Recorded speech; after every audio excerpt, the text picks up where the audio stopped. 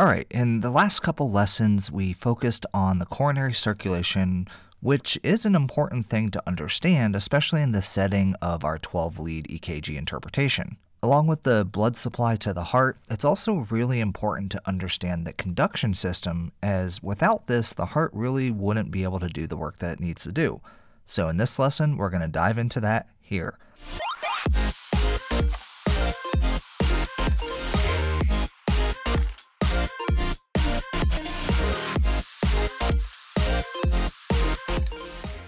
Alright you guys, welcome back to another video lesson from ICU Advantage. My name is Eddie Watson, and my goal is to give you guys the confidence to succeed in the ICU by making these complex critical care subjects easy to understand. I truly hope that I'm able to do just that, and if I am, I do invite you to subscribe to the channel down below. When you do, make sure you hit that bell icon and select all notifications so you never miss out when I release a new lesson. Now, I do also have to take this time for a quick plug for ICU Advantage Academy. If you guys have enjoyed watching these videos here on YouTube, and you also have an annual requirement for CEs, so whether this is for your nursing license, CCRN, or any other certification, I am now an approved provider for continuing education. So if you join ICU Advantage Academy, uh, follow the link down in the description. Uh, over there, you can watch the videos that I offer here, but also earn CE credits for it while you're doing it. In addition to that, you also have access to the audio only versions if you just want to listen to the lessons, as well as you have access to the notes that I prepare for each lesson. I'm also in the process of revamping these notes for Academy members. Uh, to make them look even better and more concise and just a better resource for, for everybody over there as well. So if you want to earn those CE credits, definitely head on over there and become a member. Uh, otherwise, if you really aren't looking for the CE credits, but you still want some perks like uh, access to the original style notes uh, and additional things, then you can always become a YouTube or Patreon member. Uh, both of those links are down in the description as well. Okay, so as mentioned when we were talking about our coronary blood supply, it is important to understand that our heart is a mechanical pump. Along with the necessary blood supply bringing oxygen and electrolytes that are vitally needed, there's also another important part that is what actually makes everything work. And this is the electrical conduction system. And that's what's really responsible for the spark that initiates contraction and thus the function of this mechanical pump. Without the functioning of this system, our heart would not be able to function properly and thus blood would not make its way around the body. So, speaking of the electrical conduction system, knowing the importance of this system for the function of the heart, hopefully you can understand why it's important to understand the components and how all this works. So, our EKG, as we are going to discuss here soon, is only a measure of electrical activity and not any mechanical activity of the heart. Therefore, any changes on how the system is functioning not only are going to change how the heart works, but also change the appearance of the activity that we see on EKG. So, our heart is made up of specialized cells or myocytes. Now, we have many different types, but the main ones that we want to focus on here are the ones for pacemaking, signal transmission, and contraction. The purpose of these cells and the system is to generate the electrical activity uh, that's going to lead to contraction of cardiac muscle cells, as well as to ensure that this activation signal reaches all the parts of the heart in an appropriate amount of time. And this system of cells exists throughout the myocardial tissue. So let's talk about the different components of this electrical conduction system. We'll walk through the parts of the system one by one, and I'll briefly describe the purpose of each one. So here, this is an internal view of the heart, which we're going to use to map out the pathway of this conduction system. So first off is going to be the sinoatrial node, or what we refer to as the SA node. So this is located in the right atrium, and this is near the junction with the superior vena cava. And this is the start of the electrical conduction system, and it's really the heart's main pacemaker. The activation of the SA node is what triggers atrial contraction to propagate from one atrial myocyte to the next. And it's important to know that we've got the fibrous tissue uh, of the septum that's dividing both our left and our right side, as well as our atria and ventricles. This actually prevents the transmission of signal. And in about 60% of people, they have their SA node that's perfused by our right coronary artery. The rest of the people are mostly perfused by the left coronary artery, although there are some people that are supplied by both. Now next from here, we have something that we call Bachmann bundle. This is a specialized tract of cells that's responsible for carrying the signal from the SA node to the left atrium to ensure that really they're contracting together.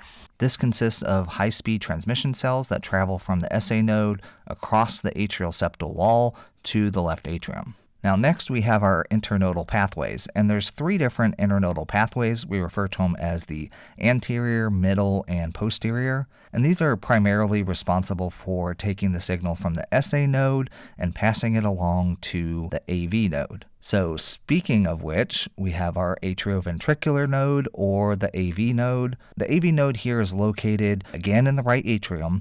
This time it's near the coronary sinus and the tricuspid valve. This group of cells is specialized for the purpose of delaying the signal from the SA node briefly before sending it along to the ventricles. This delay is important as it's going to allow time for the atria to contract and thus completely fill the ventricles prior to their contraction. Now, the AV node is exclusively supplied by the right coronary artery. Alright, next is something that we call the bundle of His. And this is another set of high speed transmission cells that comes off the AV node. So this travels partially in the wall of the right atrium and then into the interventricular septum before it branches to the left and right ventricles. Now, in pathologically normal individuals, this is the only route of communication that exists between the atria and the ventricles. And the bundle of His eventually bifurcates into two branches. So the first one is going to be our right bundle branch, or RBB, and this is one of those two branches of bundle of His. So these high-speed transmission cells are what are responsible for carrying that signal to the right ventricle. The right bundle branch terminates into our Purkinje fibers, which we'll cover in just a second here. Now next we have our left bundle branch, or our LBB, and this is another branch off that bundle of His. Uh, as expected, this is another high-speed transmission fiber of cells that's responsible for carrying signal to fibers that will go to parts of the left ventricle. Now, due to the sheer size of the left ventricle, our left bundle branch actually divides into two more fibers to better cover the entire ventricle. So the first one we're going to talk about is the left posterior fascicle. This is actually the first branch off the left bundle branch, and this fiber actually has a fan-like appearance to it, and it's responsible for carrying the signal to the posterior and inferior portions of the left ventricle. Now, because of the wide distribution of this fiber that we see with that fan-like appearance, it's actually the most difficult one to develop a block in. Now from here, we have our left anterior fascicle, and this is the other branch of the left bundle branch. So this is a single-stranded fiber that sends signal to the anterior and superior parts of the left ventricle. And then finally, we have our Purkinje fibers, and these are actually coming off each of the bundle branches and the fascicles are the cells that really connect with the myocytes. So you'll see them as just additional extensions coming off like our right bundle branch block here, as well as the left bundle branch when we're looking at the left anterior fascicle, as well as the left posterior fascicle, giving it really that fan-like appearance. These are what are responsible for initializing depolarization in the muscle cells, leading to contraction of the cardiac muscle. Again, like the atrial myocytes, uh, the ventricular myocytes further propagate the signal to the other surrounding cells just at a much slower speed than the high speed bundles in the fascicles do. Alright, so that's the physical makeup of the electrical conduction system. One important aspect to know with the system is about the pacemaker ability of each of the different cells. So the pacemaking ability is really what dictates the heart rate that we see with our patient. Almost all parts that we just discussed of the conduction system have their own intrinsic pacemaker rate, which actually gets slower and slower as we move further down the system. And you can really think of this as the body's backup system. If a pacemaker higher up the chain fails to fire, after enough time has passed, a lower level pacemaker will fire to ensure that a contraction still takes place. As mentioned, the SA node is the primary pacemaker of the heart, and it has an intrinsic rate of 60 to 100 beats per minute. Now, the SA node also responds and adjusts its rate based on the needs of the body. Now, next we have the AV node, which actually has an intrinsic rate of 45 to 50 beats per minute. Then the bundle of His and the bundle branches each have a backup rate of 40 to 45 beats per minute. And then finally, the Purkinje cells and the ventricular myocytes themselves have a backup rate of around 20 to 40. Obviously, the slower rates of the system more distal to the SA node are either not ideal or in some cases life threatening. They can buy the body time to correct itself or us more time to try and fix them. All right, so from here, I wanted to, to move on and talk about the electrophysiology of this system. I really wanted to just quickly describe the process of depolarization and repolarization of these cells to give you a better understanding of what's happening here. There are many electrolytes that play a vital role in this process, uh, and therefore the alteration in the levels of these electrolytes can and often do affect the function of the heart. Um, the main electrolytes that play a role in this process are sodium, potassium, calcium, and chloride, although magnesium can also impact things as well. So we have our muscle cells here that we can see that are connected in these long fibers called myofibrils. The collection of these myofibrils are what make up muscle fibers, uh, and then collections of those obviously make up our muscles. Within each muscle cell, though, we have strands of this myosin and actin, which when activated with the help of calcium, the strands move along one another, causing contraction of the cell. As these cells and the cells of these myofibrils all contract, they decrease in size, leading to the contraction that we see. So then from here, it's important to understand about cell polarity.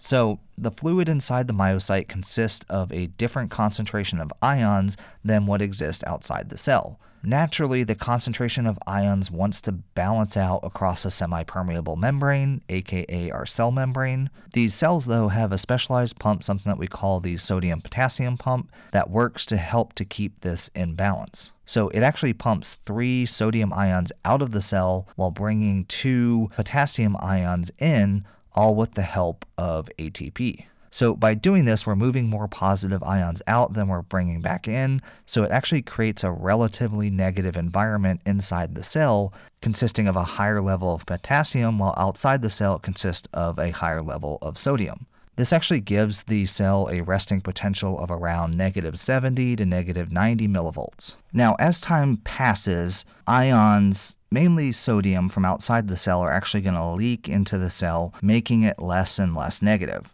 We can actually see this represented with the phases of an action potential, which I'm going to graph out for you here. Um, and this is called phase four of the action potential. And here you can see the slow rise of the polarity of the cell from that resting potential.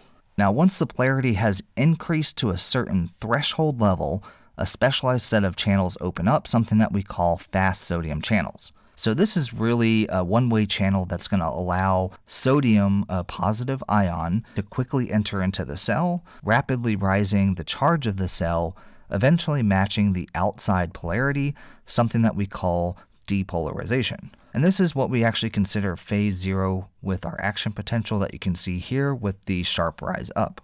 And again, this depolarization is then transmitted from cell to cell until they are all depolarized. Now, when the cell reaches its peak charge or it's really maximally depolarized, the sodium influx is going to be slowed down, and then we're going to start to have a leak of negatively charged chloride ions that are leaking into the cell as well. This slowdown actually leads to the closing of those fast sodium channels and then opening of two other channels that we call the slow sodium channels and the calcium channels.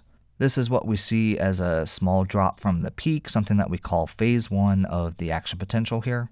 Now, next, as the sodium is slowly entering and we have this influx of calcium, we really kind of maintain a relatively flat polarity, something that's known as the plateau phase or phase two that we see on the action potential here. Now, remember that calcium plays a vital role in the ability of myosin and actin to bind, and thus this is where the physical contraction is really beginning. Also, the more calcium that's available, the stronger and the longer the contraction that we're going to see.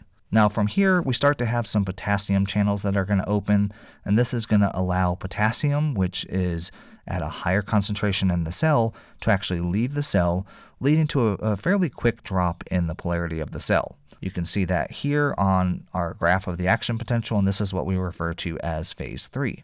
So this eventually leads to a negative charge again for the cell, uh, effectively repolarizing it. Once we get back to that resting potential, so again, negative 70 to negative 90 millivolts, once that's reached again, um, at this point, all the channels will have been closed, and then we have our sodium potassium pump that goes back to work, and this process starts all over again with that slow increase of phase 4.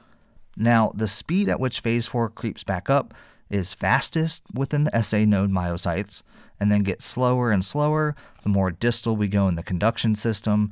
This is what leads to the slowing of that intrinsic or backup rate that we see.